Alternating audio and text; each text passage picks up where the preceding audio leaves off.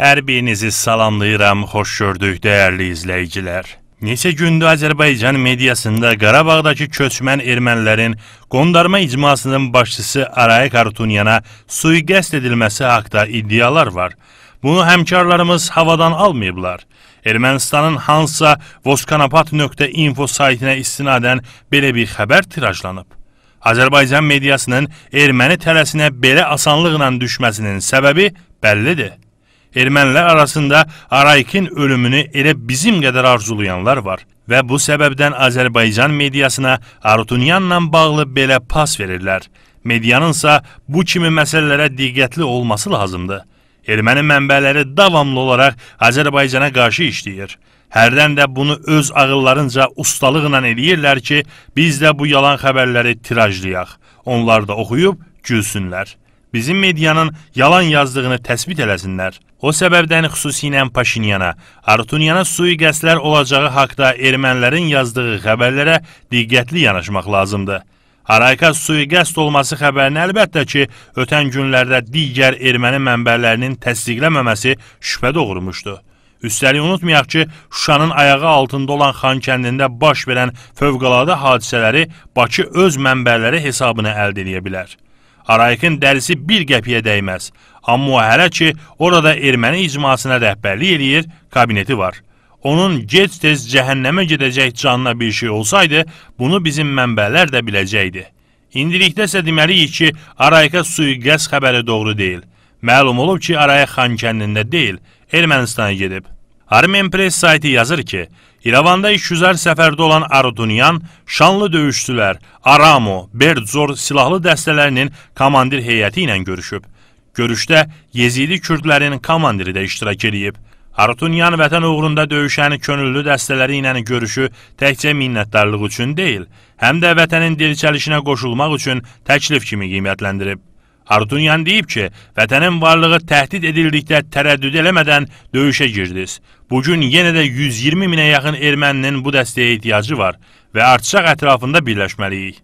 Arayik gəbərməyib, amma özünü bu cür özbaşına çağırışla aşkar güllə qarşısına atır. Qarabağa silahlı dəstə çağırmaq və bunu vətən 120 min erməniyə dəstək kimi sözlərlə bəzəyər eləyir. Bu 10 noyabr razılaşmasına birbaşa ziddir. Hətta bölgədə yeri qarşı durmaya çağırış terrora hazırlıq cəhdidir. Arayıq iyun ayında Qarabağdakı köçmən ermənilərin sayının 35 min nəfər olduğunu etiraf eləmişdi. Ermənistanla əlaqələr qurmadan 35 min vətəndaşın sosial probleminin həllini necə təsəvvür edirsiniz, deyə separatçıların başçı görüşlərin birində bildirmişdi. Arayıq ciddi mənbədir.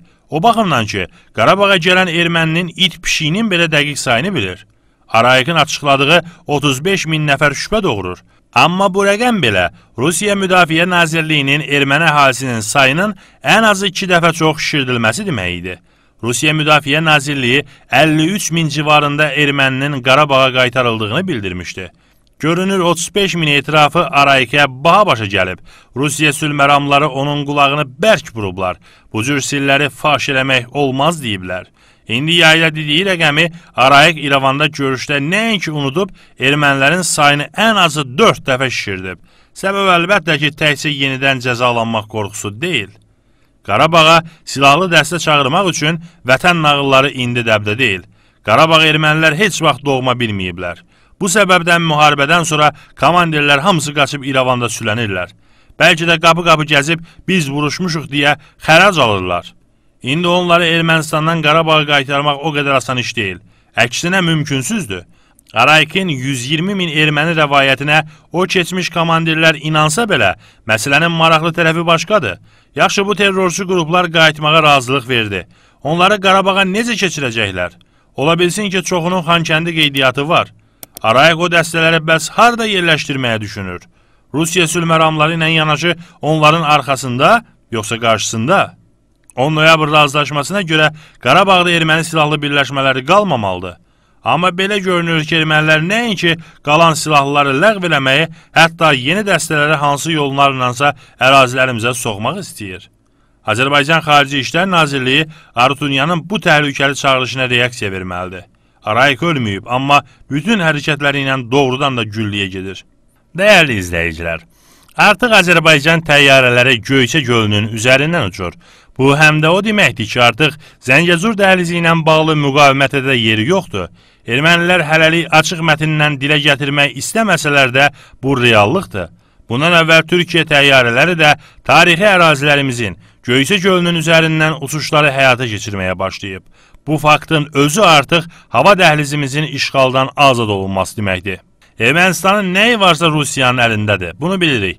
Həmçinin havasına da nəzarəti Rusiya eləyir. Deməli, hava dəhlizinin açılması da əslində Bakı ilə Moskva arasında müzakirələrin nəticəsində açılıb. Ermənistan sadəcə icraçı rolunu oynayır. Bu bir daha deməyə imkan verir ki, Azərbaycanın postmüharibə dövründə ortaya qoyduğu qətiyyəti sayəsində daha böyük bir uğur əldə olunub. Geniş təbliğ olunmasa da. Günün birində Zəngəzur dəhlizinin dəmir yolu və avtomagistralın da açıq elan olunacağına kimsə şübhə eləməməlidir. Azərbaycan nəyə görə beynəlxalq hüquqa əsasən onun olan ərazilərə hansı ölkənin hava məkanından keçərək getməlidir? Qarabağdakı 25 min erməninin İrəvana rahat gediş-gəlişi üçün 5 kilometrlik dəhliz yaradılması təmin olunduğu halda, niyə Naxçıvanın 450 minlik əhalisinin Zəngəzurdan, tarixi torpaqlarımızdan rahat keçişi üçün imkanlar tanınmasın? Burada heç bir məntiq yoxdur və Azərbaycan heç vaxt bu tarix ədalətsizliyi ilə barışmayacaq. Dövlət başçımızın qətiyyətli siyasəti buna şübhə yeri qoymur. Hava məkanındakı Göyçə yolunun açılması ilə 10 dəqiqə qazanan sərnişin görün Zəngəzur dəhlizinin açılması ilə nə qədər faydalana bilər. Bu Azərbaycan vətəndaşının ali haqqıdır və onun məhdudlaşdırılması yol verilməzdir. Bilirik ki, bu prosesi əngəlləmək istəyənlər sona dək məkirli mövqe sərgiləyəcəklər.